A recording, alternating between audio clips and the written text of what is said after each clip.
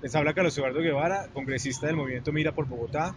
Empezamos este año denunciando las irregularidades de la tabla de avalúos que afectaban a más de 5.800.000 propietarios del país, que tenían que pagar el 20-25% del valor eh, por encima del valor comercial inclusive de sus vehículos. Tabla que se cayó y efectivamente el gobierno corrigió y hoy los usuarios no pagan más allá del IPC. Hecho concreto, denuncia el movimiento Mira y soluciones para todos los propietarios de vehículos particulares y también de transporte público del país.